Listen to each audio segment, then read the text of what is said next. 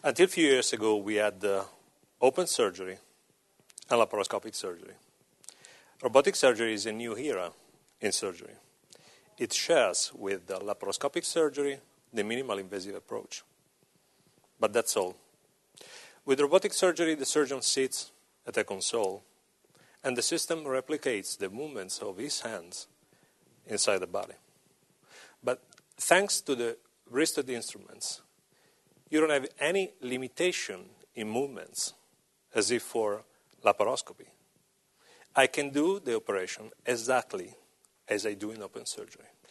The feeling is like having your hands directly in the operating field. The system also gives a tridimensional, detailed, and magnified view of the operating field. So it allows to recognize the smaller anatomical structures. Other important features are the uh, electronic suppression of the hand's natural tremor and the capability of motion scaling, which means that a 5 centimeters movement on my hands outside will be a 1 centimeter movement of the tip of the instruments. These two things together give a terrific accuracy and precision during dissection. The result is an increased accuracy during surgery and decreased risk of trauma and collateral damages to surrounding tissues. In rectal surgery, precise movements and uh, uh, fine uh, instruments allows a perfect dissection of uh, the mesorectum, which is of paramount importance for reducing the risk of uh, uh, recurrence of the rectal tumor. And moreover, the detailed view allows the identification of the nervous structures of the hypogastric plexus, thus reducing the risk of uh, urinary dysfunction and impotence, which are common side effects after rectal surgery. Well, the first model of the Da Vinci system had a limited operative field. So when the interventions involved multiple abdominal quadrants, uh, it was needed to reposition the surgical cart several times during the intervention, prolonging operative time.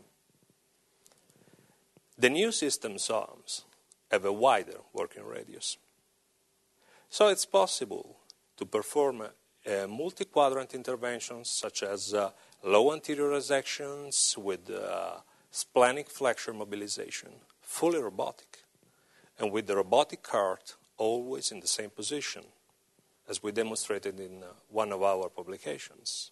Thanks to this improvement, we could extend the advantages of robotic surgery to cure other abdominal malignancies.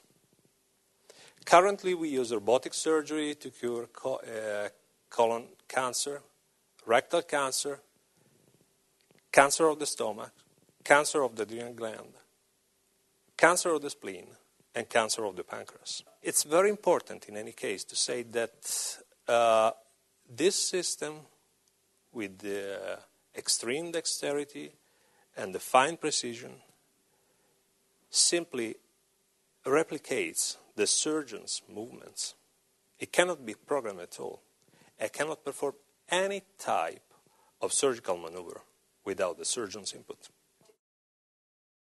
Patients operated uh, with robotic surgery have less postoperative pain, less blood loss, a shorter hospital stay, a faster recovery, and better aesthetic results. Patient satisfaction with robotic surgery is generally high, and surgeon satisfaction is high too.